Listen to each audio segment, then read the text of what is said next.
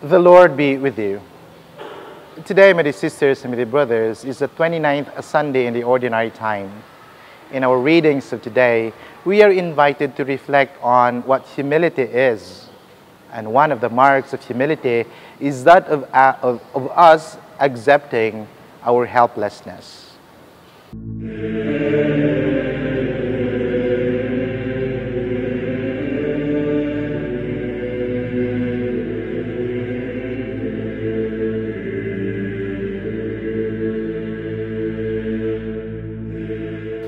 Today, my sisters, my brothers, our gospel reading of today is telling us of a story, a kind of weird story, of a judge and a one who was so insistent in asking, insistent in asking for favor from the judge.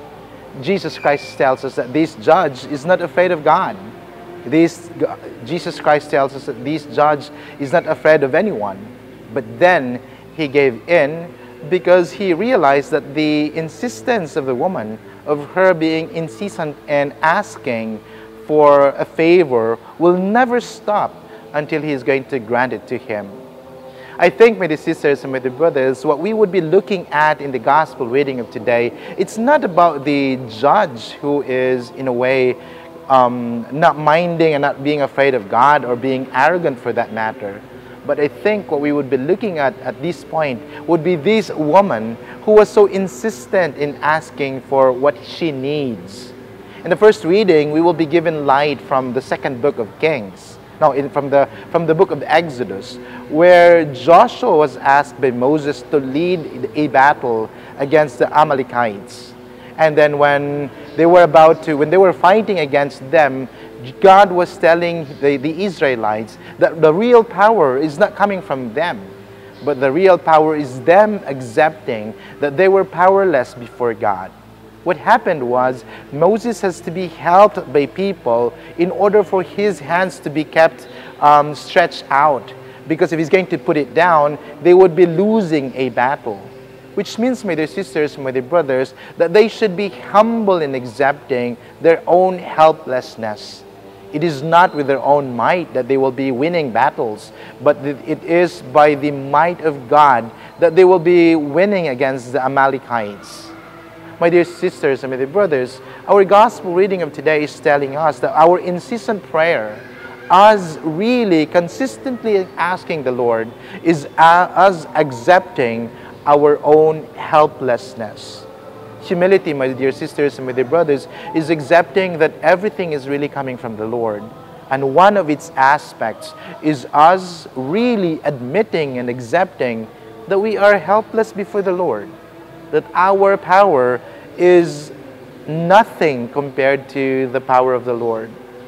My dear sisters and my dear brothers, hopefully in our journey in this life, we would be reminded that we, would, we should be more humble before the Lord, that we would be accepting that we are helpless before Him, for us to always acknowledge that we are mere children of His and everything that we should be doing and everything that we should be receiving should be coming from the Lord. I know it's not going to be easy. It's not going to be easy because our pride will tell us that there's so much that we can do. Our pride will assure us, in a way, will convince us, will make us believe that we can do so much without God.